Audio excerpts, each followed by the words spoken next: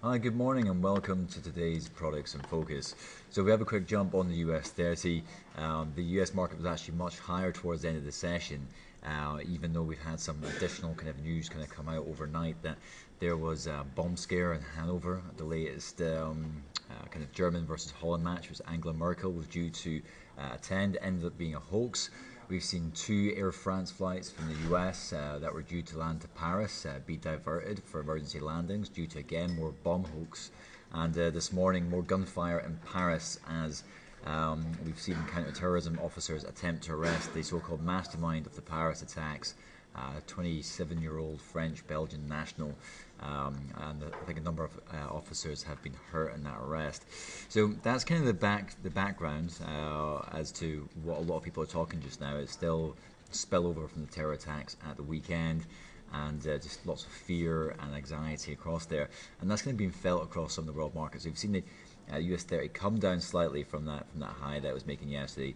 It's a little bit negative so far this morning. Most other global equity markets are this is slowly drifting back down again as risk appetite begins to wane.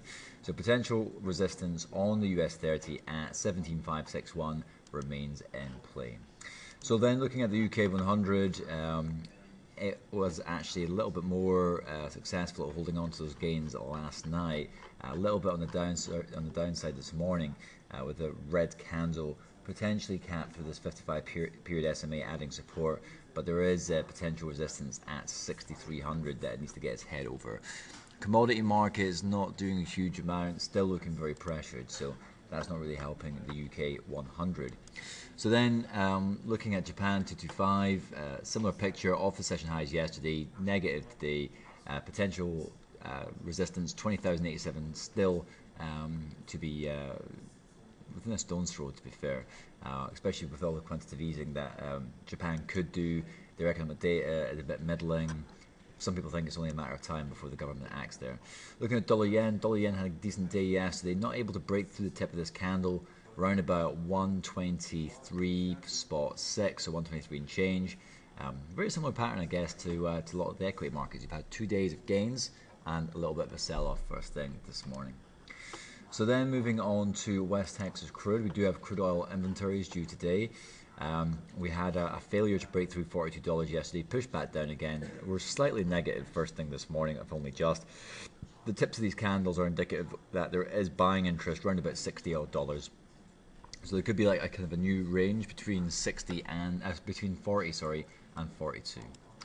So having a look at the yellow metal, it uh, actually broke through potential um, support yesterday below 1072, and that's relatively significant. We've had a reversal, um, a retracement back up to 1072 this morning, uh, failure to break back through resistance.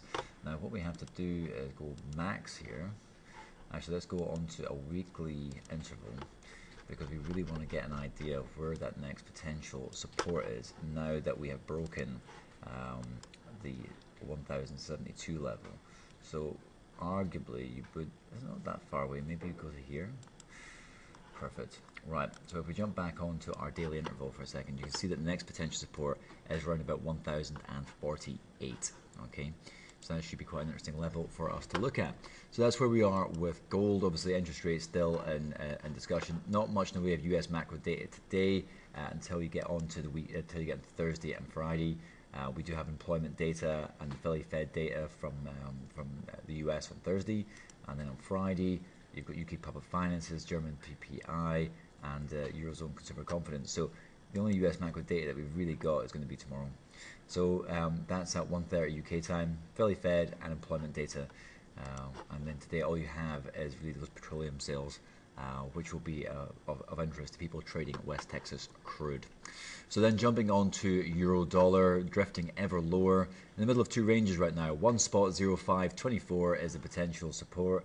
Uh, the low made in uh, mid uh, mid April 2015, and this is still just about to go positive negative. It's pretty much bang on the line right now. We're at 106.43. So we're just a little bit over the halfway mark of that range. So moving on then to uh, cable. Cable uh, had a kind of a bounce yesterday. Uh, very interesting candle formations just above one spot 51.73. Um, we're at the bottom end of the range right now. But right now we're pretty much bang on that support level where we are just now. Okay, not that far away, and we should be okay. So that gives you a bit of an idea of what to expect today. Keep your eye on the chart form as ever.